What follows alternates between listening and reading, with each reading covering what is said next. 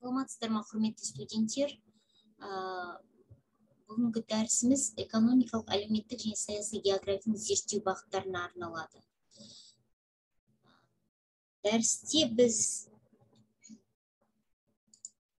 дәрісте біз мынадай сұрақтарды қарастырамыз. Экономикалық әлеуметтік және саяси географияны зерттеу әдістері экономикалық және әлеуметтік географияны зерттеу тақырыбы экономикалық әлеуметтік географияны зерттеу нысаны мен мәселелері деген.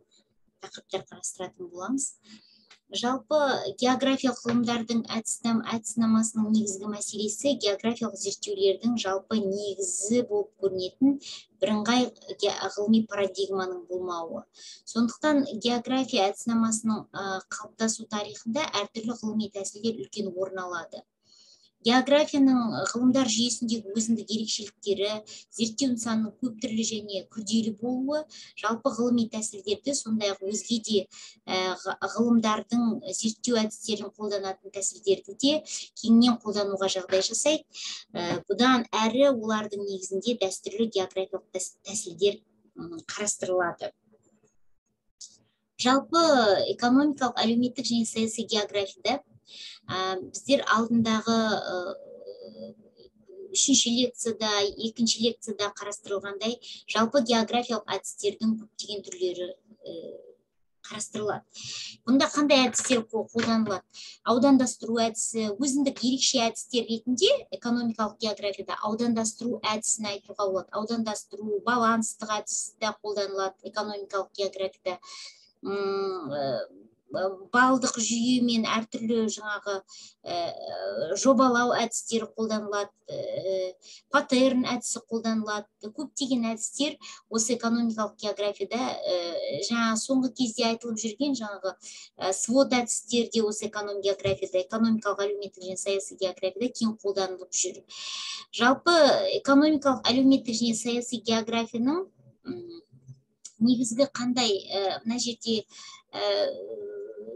біздер жүйесін көрсетеміз заңдылықтарын көрсетеміз. Не қандай салаларды қамтиды?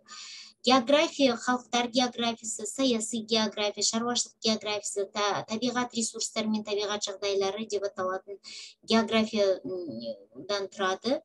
Халықтар географиясының өзі қоныстану географиясынан геодемографиядан қызмет көрсету географиясы мәдени география мен мәдениет географиясы деп айтамыз. Осылармен өте тығыз байланыста дамиды. Одан кейін аралық география рекреациялық география.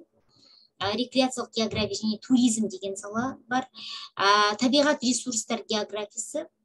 Ол міндетті түрде табиғат ресурстар географиясы табиғат ресурстары мен табиғат жағдайларына және шаруашылық географиясына байланысты болады. Шаруашылық географиясының өзі өнеркәсіпті ауыл шаруашылығын көлікті сауданы қамтиды. А саяси географиясының саяси географияның негізгі міне өздеріңіз көріп тұрғандай зерттелу объекті ол электоральды география. Енді бұл жерде мына табиғат ресурстары мен табиғат жағдайлары бұл табиғатты тиімді пайдалану және табиғатты қорғау деп аталатын геоэкологиялық жалпы ғылымға жатады. Енді бұл жерде қандай әлеуметтік география экономикалық аудандастыру географиялық экспертиза экономикалық картография әлеуметтік және экономикалық саяси зерттеулер және көптеген әдістер қолданбалы бағыт ретінде қолданылады. Басқа ғылымдармен бірігіп зерттеу жүргізген уақытта мысалы қандай ғылымдармен байланысады десек мына аймақтану ғылымымен байланысты аймақтық экономика дейді экономика ғылымымен экономика әлеуметтану деген ғылымдармен саясаттану деген ғылымдармен өте тығыз байланыста қарастырылады. Енді сондықтан да экономиканың кейбір тақырыптары тақырыптары әлеуметтік экономикалық географияда қолданылады. Мысалы қоныстануға байланысты миграцияға байланысты көші қонға байланысты және демографияның көптеген мәселелеріне байланысты. Онда осы, осы жерде бір бірімен түйісіп пайдалануға болады. Сондай ақ мына неде де қолданылып отырады. Геоэкологиялық көптеген мәселелерді зерттеген уақытта осы экономикалық әлеуметтік және саяси географияда түйіскен ретінде бірге шекаралас зерттеулер жүргізуге болады. Енді бағыттар ретінде айтатын болсақ иә халықтар географиясы бұл мың тоғыз жүз қырқыншы жылдардан бастап қалыптаса бастаған. Бұл бағыттың негізін салушылардың бірі пакшишевский болып саналады. Бұл бұдан басқа көптеген ғалымдар бар. Баранскийдің зерттеулері кабоның зерттеулері майер гойз лапо давидович көптеген ғалымдардың зерттеулері бар. Бұл әсіресе жаңағы халықтың халықтар географиясының қоғамдық өндіріс пен қоршаған табиғи ортамен әрекеттесу процестерінде қарастырылатын халықтың құрылымын орналасуын аумақтық орналасуын зерттейтін экономикалық географияның бір саласы болып саналады. Екіншіден тағы бір саласы бұл өнеркәсіп географиясы. Жаңа ғана айтып кеттік өнеркәсіп географиясы деп. Ол өнеркәсіп өндірісінің территориялық құрылымын өнеркәсіптің тұтастай және салалық топтар бойынша дамуының объективті заңдылықтары мен арнайы ерекшеліктерін зерттейді.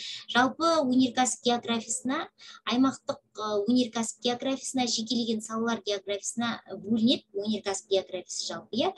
Ал бұл бағыттардың дамуында қандай майыр хрущевтің баклановтың қазіргі уақытта алисовтың горкиннің көптеген бандманның көптеген еңбектері бар.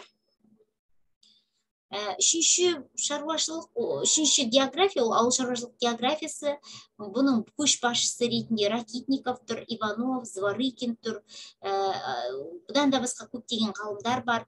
Ол ауыл шаруашылығының аумақтық жіктелуінің заңдылықтары мен ерекшеліктерін ауыл шаруашылық өндірістік типтерін ауыл шаруашылық жерлерінің жіктелуін картографиялануын ауыл шаруашылығының аудандастыруын зерттейді.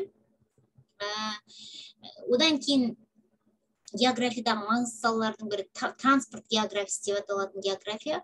Ол көлік географиясы аумақтық құрылымды оның орналасуының объективті заңдылықтары мен арнайы ерекшеліктерін аумақтық көліктің игерілу дәрежесін желілерін жүйелерін жүк және жолаушы ағындарының қалыптастыруын қарастырады. Осы саланы аудандастырумен шұғылданады.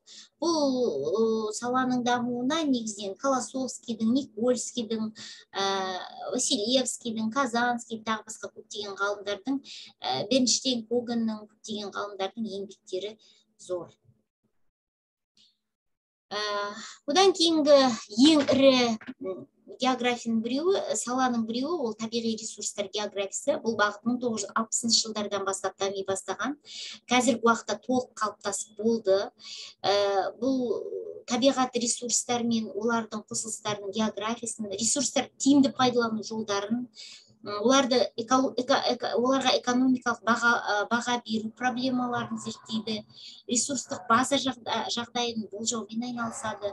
Бұл бағытты қалыптастыруда минстің мухинаның преображенский рунова сияқты ғалымдардың еңбегі бар. Келесі география бұл рекреациялық география деп аталады. Мың тоғыз жүз жетпісінші жылдардан бастап дами бастаған қалыптасқан. Ол рекреациялық іс әрекетті зерттейді рекреациялық жүйелерді рекреациялық ресурстарды рекреациялық аудандарды ішкі және халықаралық туризм мәселелерін қарастырады. Қазіргі уақытта бұл рекреациялық географиямен айналысып жүрген ірі ғалымдардың бірі александрова. Бұдан басқа осы рекреациялық географияны қалай қалыптастырушылар преображенский веденина мухина мироненко дырдохлебова және тағы басқалар.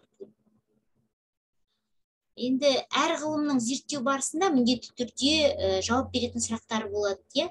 Ол эконом, эконом географтар осы экономикалық әлеуметтік және саяси географиямен айналысушылар географтар не қашан қайда неге қалай қандай жолмен өзгерту керек деген сұрақтарға жауап береді. Бұнда енді экономикалық әлеуметтік география үш типті нысандарды табиғат нысандарын әлеуметтік объектілерді және экономикалық нысандарды осылардың өзара қарым қатынастарын байланыстарын қарастырады. Жалпы параметрлеріне зерттеу нысандарына байланысты сандық сипаттамалар жатады қорлар ресурстың халық саны өнімнің аттары көлемі қайда деген сұраққа жауап бергенде оның географиялық орны жатады. Қай жерде нақты орындарын анықтайды экономикалық географиялық орын саяси географиялық әлеуметтік географиялық орны бар тарихи географиялық орны бар физикалық географиялық орны бар осындай көптеген орындарға жауап береді. А қашан дегенге сұраққа ә, зерттеу нысанының географиялық кеңістікте пайда болған уақыты мерзімін кезеңділігін ә, жалпы қалыптасуын айтып отырады. Неге деген сұраққа жауап беру? Жалпы иә ә, жауап зерттеу нысанының геокеңістіктегі белгілі бір географиялық нүктеде пайда болу негізін себептерін ашады. Қалай деген сұрақ бұл зерттеу нысанын қоршаған ортаға керісінше қоршаған ортаның географиялық нысанға әсерін анықтайды. Енді қандай жолмен өзгерту керек деген сұрақ та туындайды ғой. Онда бұл сұрақ экономикалық әлеуметтік экологиялық тиімді болу үшін зерттеу нысандарының орналасуын өзгерту керек па? Болмаса өзгерту керек емес па? деген әртүрлі функциялық сұрақтарға жауап береді. Не не деген сұраққа геоматерияға қайда деген геокеңістік қашан деген сұрақ бұл геоуақытты береді. Уақытты береді географиялық.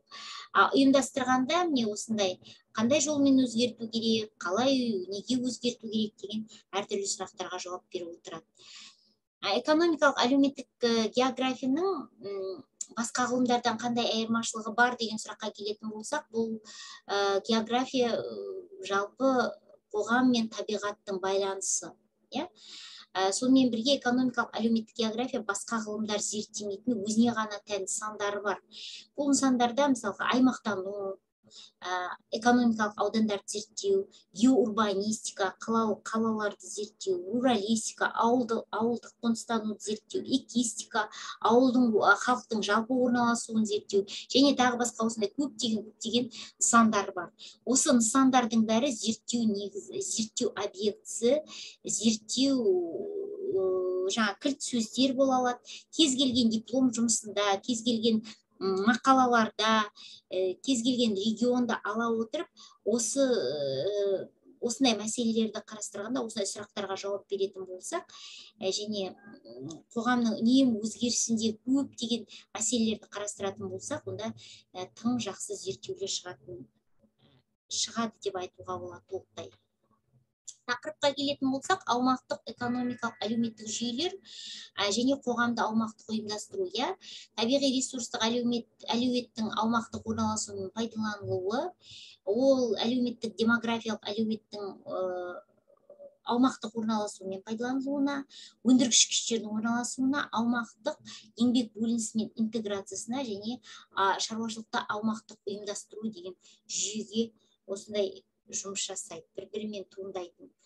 Жалпы экономикалық әлеуметтік нысан және саяси географияны зерттеу нысандары көп көп. Міне осы зерттеу нысандары кең мағынада кең мағынада нақтылы мағынада және тар мағынада немесе өзіне пәнге ғана тән нәрседе ауқымда деп бөлуге болады. Кең мағынада ол жалпы гео жер жерді ғаламшарды түгел алған уақытта дүние жүзін. Нақтылы мағынада ол табиғат қоғам шаруашылық ә, табиғат халық шаруашылық арасындағы байланыстарды қарастырған уақытта яғни географиялық ортаны қарастырған уақытта шаруашылық құрылымдарды қарастырған уақытта қоғамды географиялық орта мен қоғамның аумақтық байланыстарын қарастырған уақытта бұл нақтылы мағынаны береді. Одан кейін өзіне ғана тән тек қана экономикалық әлеуметтік және саяси географияға ғана тән дейтін болсақ онда аумақтану тек қана экономикалық аудандар аумақтық өндірістік кешендер қалалық агломерациялар халықтың орналасу мен қоныстану жүйелері аумақтық аумақтың сала аумақтық салалық және салааралық құрылымдар аумақтың әлеумет территориялық әлеуметтік экономикалық жүйелер осыларда өзіне пәннің өзіне ғана тән мәселелер болып саналады. Жалпы қорыта келгенде әлеуметтік экономикалық және саяси географияның жалпы қазіргі қоғамда маңызы зор маңызы зор. Көптеген зерттеулерді өзгермелі болғандықтан батыл алып жұмыс жасауға болады. Дипломдық жұмыстарды алуға болады тақырыпқа келетін болсақ иә кез келген тақырыптарды алуға болады.